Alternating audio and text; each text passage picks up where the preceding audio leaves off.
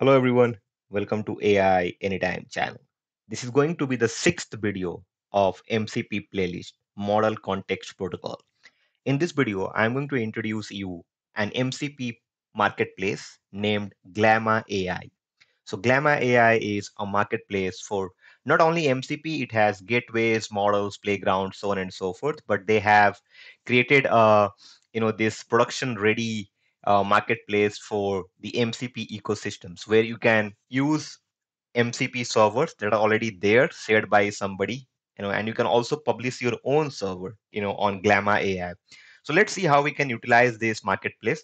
Now, if you look at here on my screen, I'm on Glama website. It says glama.ai slash MCP slash servers. If you look at here on top, it has MCP right here. Now, in this in this MCP, you know, if you see, we have first of all a lot of categories in the left side, like local, remote, hybrid. Now, just to you know explain a little bit, what do we mean by local and remote? MCP servers which are remote have no local dependencies. You know, if you already have hosted that on some remote servers or that uses some third party that you can that you are using through API and providing your MCP server, and it has no local dependencies where you have to run something locally. That's what called remote MCP servers. Local means you have to you know handle dependencies, installations, and so on and so forth, and then use it through an MCP client. That's what local is, and hybrid means it's a mix of it. So first of all, that's the three uh, MCP thing that we have. If you look at here, it has total of 3,413 servers in over here, and you can easily use it. I'll show you how. Okay, uh, it has uh, Python-based servers, and there are different languages which are available. MCP servers are available in Rust, Go, Python, and TypeScript. As of now, you can see Python and TypeScript. Uh, TypeScript leads it, and Python is not behind. And they have then then then they have the genre categories, right? Arts, culture, uh, databases. If you want to connect with Postgres, Supabase, so and so, so on and so forth. You have knowledge and memory. You have marketing search like Tavily, I'll show you search. If you go, let's click on search here. Now, if you click on search, you will find out all the servers related to search. Right now, if you look at here, there's so many servers available. Like it's uh, like you have this Meilisearch, you have Scrape Graph, you have Tavily. That's one of my favorite. You know, Tavily MCP server. And I'm gonna show you now how you can add your own server. Let's see, for example. Now on top you see something called add server. When you click on that, you can give it a name. So if I come here on my GitHub repository I have something called LinkedIn profile MCP. So let me just copy this and show you. You have to submit it. They will approve it. That takes time. Uh, they will do a uh, they will do an kind of an uh, assessment and then they will do it. Let me write something here quickly. Okay, I'm gonna write this MCP server in JSON format. Blah blah blah. This is I created this in my previous video. So watch my videos in MCP playlist. So here I'm writing that. I'm gonna give this. Uh, it's a subfolder like it's a sub repository well that's fine i'll just give it here uh, come here and give that and i'll give my email address and i'm going to add. Now i'm adding a new mcp server. Make sure you have a good readme.file readme.md file which will basically help these guys read your repository assess it and of course look at your code and stuff. So i'm just uh, going to add it here. Now when i add it you will see they will say thanks for adding. They will notify me once that is added to this marketplace. So here you can contribute to this marketplace to this mcp ecosystem and of course you can you know contribute a lot because then these guys will find out you know if somebody is interested they will reach out to you right? And they can work with you. So that's how we do open source contributions. Now i have added my server. Once that is accepted they will notify me through the email that i have you know uh, pasted there.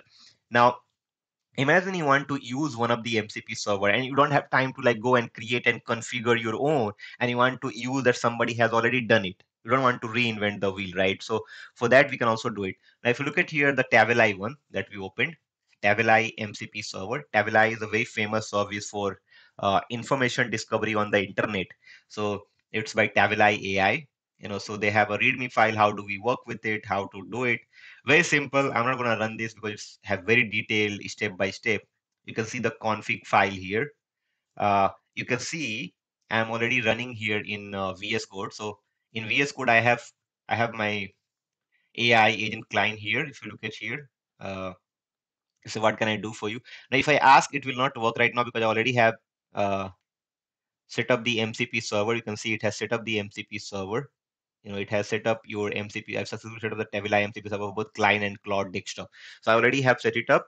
And you can also, uh, let me just remove this. I don't have the credits uh, for this, but yeah, it says I found a Tavily MCP server demonstration script. This is how to use Tavily API, blah, blah, blah. I was asking a question about search on internet about quantum computing. Now, if you look, look here, how you can set it up. It's very easy, guys. It's like if I go back, okay, first make sure if you want to use, you can see I'm searching this. You have to install. I already have installed you know uh, this in it's an it says autonomous coding agent right in your IDE. So in VS Code, I use this. You can also do it on Cursor and Windsurf, and you can also do it on Claude for desktop. I already have shown it how to configure config.json. Now you install it. Once you install this extension, you will find out this uh, icon here. Go on this icon, and on top you will find out this MCP server. You can see in MCP server, I have. Uh, if I show you Tavily, you can see Tavily install. Now you can install Tavily. I'm not installing because I don't have a lot of credits. It will take time to install it, but I have configured for, you can see I don't have balance for it. It says your Cline credit balance is negative, but I don't want to renew it because I already have a Claude for desktop uh, and there I'm doing it. But you can follow this step by step how to configure these MCP clients on both Cursor and Claude desktop to work with Tavily. Not only Tavily, you can take any MCP server from here. If you want to take like just say, let's say databases. Now in databases, you can find out Qdrant if you want to build RAG based solutions, right? You can use this vector database to use it.